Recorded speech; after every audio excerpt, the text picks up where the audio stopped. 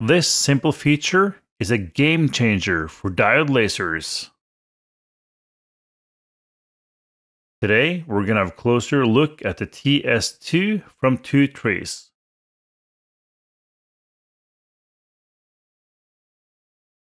This is a premium grade laser engraver and cutter with at least three features that makes this laser great.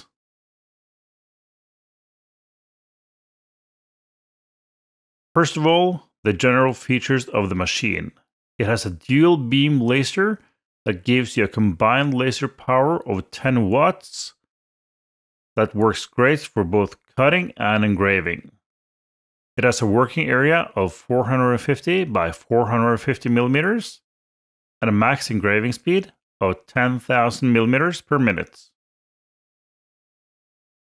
Features such as cleverly placed drag chains, a very rigid and solid frame, and end stops that allows you to home the machine are just some of the features that makes this machine premium. But in our review of this machine, we would like to focus on the three best parts that really makes it great. Starting with the most important one is the autofocus feature. More advanced CO2 lasers also has this feature, but this is the first time we see it on a diode laser. You've probably seen other diode lasers that has a distance gauge that allows you to lower the laser to a specific height over the laser bed. This is often a built-in gauge you flip down or a separate object that you're supposed to rest the laser on. So why is this a game changer that you now can do this in the software instead of doing it manually? To understand why this is a big deal, we must first have a look at how lasers work. All 10 watt lasers has two laser diodes that each output about 5 watts. By combining these two laser beams, you get a total output of 10 watts. But this beam is too wide be able to engrave or cut properly. So we need to focus the laser with lens. This lens focuses all the power on a compressed spot that can both engrave and cut. But on the other side of this spot, the laser becomes unfocused again and loses its focused power and its ability to cut. When you engrave, you want that focus point to be on the very top of the material. But when you cut, you want the focus to be deeper into the material. And the thicker material you cut, the deeper you want the focus to be into the material. Here we see the difference between setting the height for engraving and cutting. The difference is several millimeters. If you have a fixed distance gauge, how do you accurately lower the laser with, for instance, 3 millimeters? And especially without moving the material if you have engraved it first. This is why doing it all from your software is so great. Focus for engraving first, then change the height for cutting.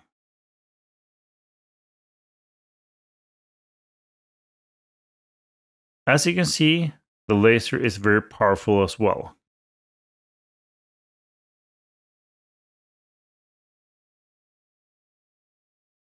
Note that we are also using the air pump from Two Trees. That's why all the cuts are so clean.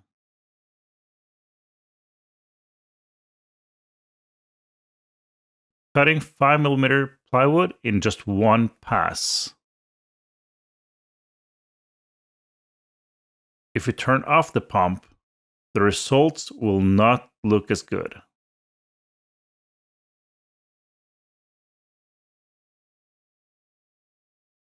The next great feature of laser is the open sides. This allows you to place materials much easier without always having to move the laser head.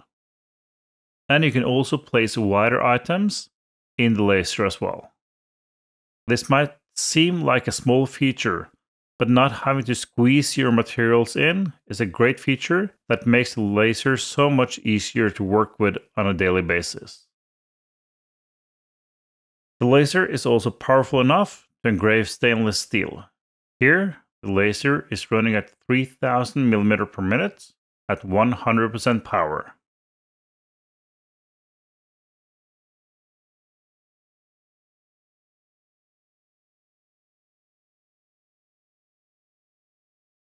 And the third great feature is the fact that both the y-axes are linked. We often move the laser head around, and on many lasers, only one of the sides is connected to the stepper motor.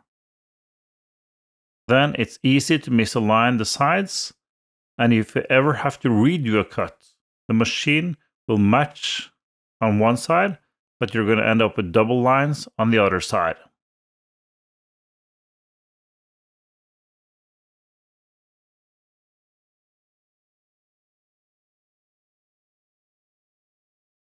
Then it's time to engrave and cut 3mm black acrylics.